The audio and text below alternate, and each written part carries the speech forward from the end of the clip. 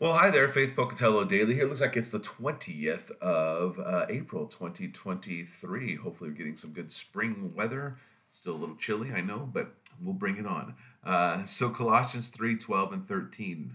Put on then, as God's chosen ones, holy and beloved, compassionate hearts, kindness, humility, meekness, and patience, bearing with one another, and if one has a complaint against one another, forgiving each other, as the Lord has forgiven you so you also must forgive.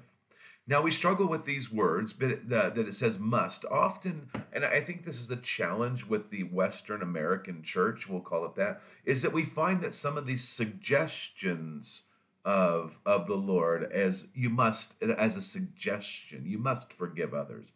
And that's really not a suggestion, it's a command. And, and, in fact, one of the things that we we sometimes fail to do is we look at the Great Commission. It says, "Go into all the nations, baptizing them in the name of the Father, Son, and Holy Spirit." So make disciples, right?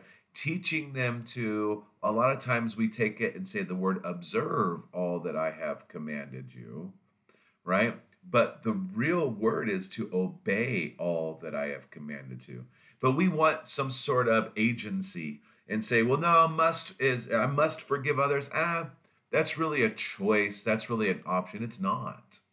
God says, because as the Lord has forgiven you, you also must forgive others. Now, we can't forgive others unless we receive the forgiveness of the Lord, but also realize it is our command, our mission, our commission that God has told us to go and do this.